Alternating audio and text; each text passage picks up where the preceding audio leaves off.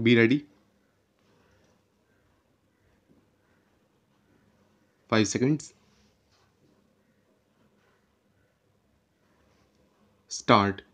Under the circumstances, it is only natural, sir, that we should have some measure by which the university education can be coordinated into something which will cater for national unity and for national recovery in the sphere of education.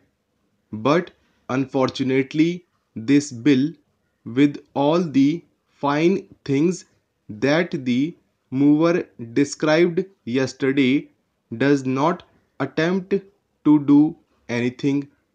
For instance, it has gone far beyond the terms of reference, if I may say so, of the University Education Commission with regard to the constitution of a University Grants Commission.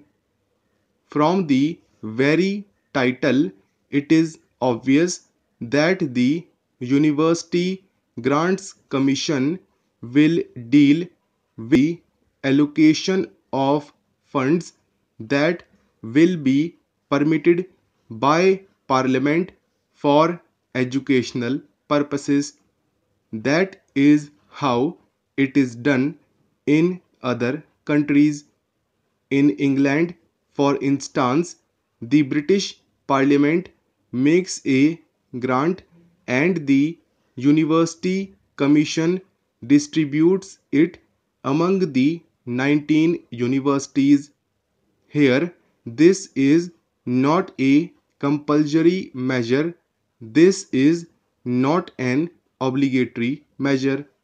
Now, this is not the way to reorganize education even at the university level.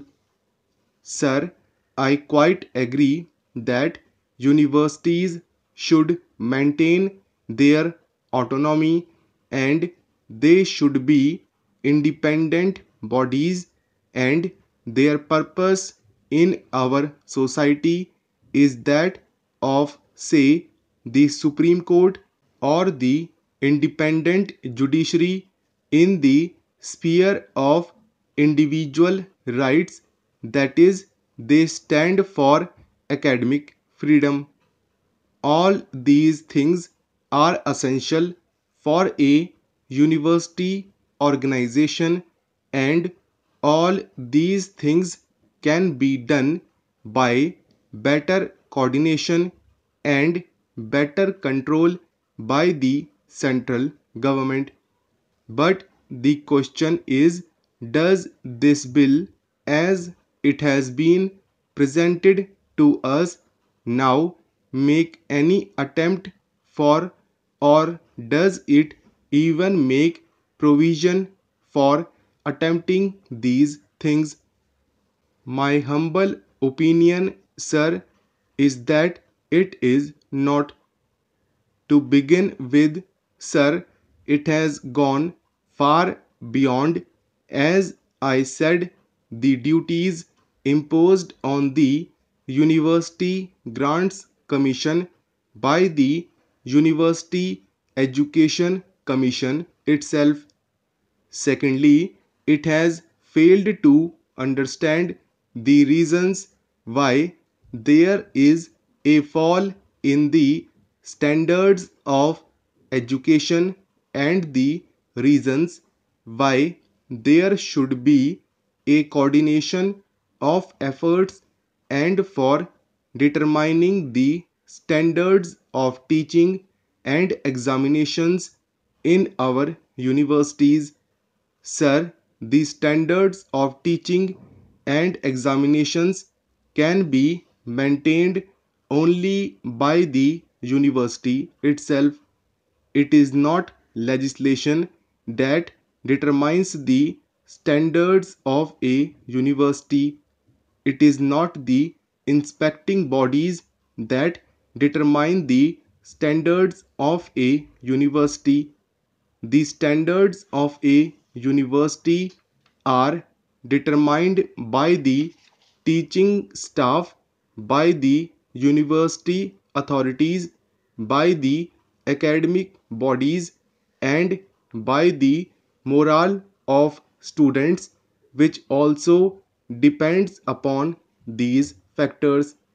Now, there is nothing in this bill, nor is this the kind of a bill which is needed to ensure these things.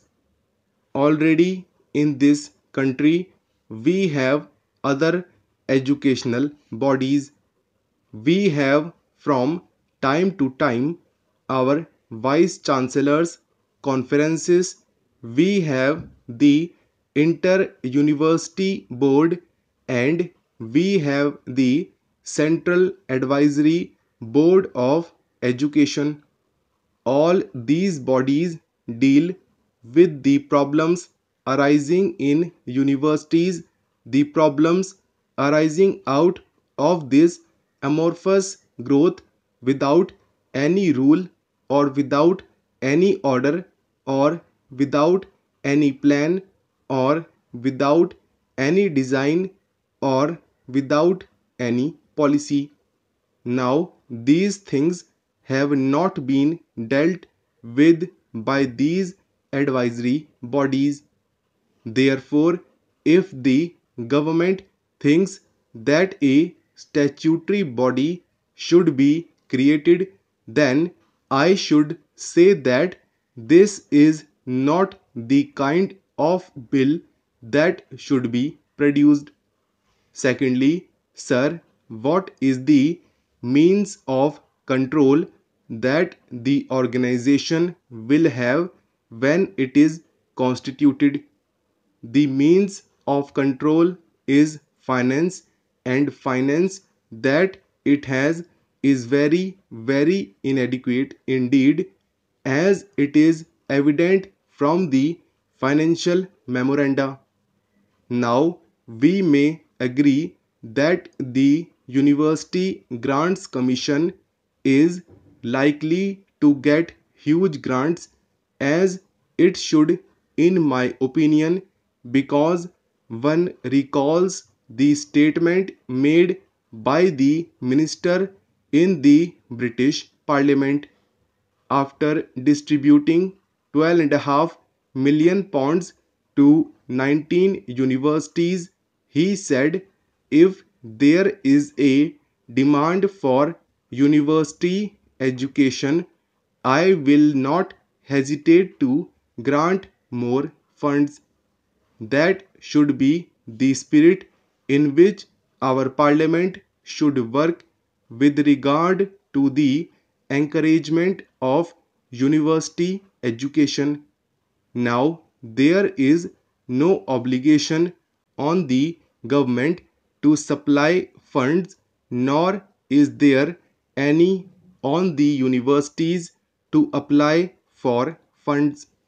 Mr. Chairman, Sir, the speakers who have preceded me have given a very grim picture of the economic situation, employment situation, and a very depressive situation of the country. I am glad to know that Shri Vasant Sathe was speaking in 1979 in favor of this sort of a bill and I am very glad that he has again contributed to the debate in a very constructive manner. Well, we have figures galore, statistics galore, but figures and statistics would not solve our own problem. Every year, the figure of 8 million unemployed is added. We are sending rockets into the sky, but we are not spending enough money for the poor and the needy people of this country. We have made serious mistakes in various fields as has been pointed out by Shri Vasant Sathe.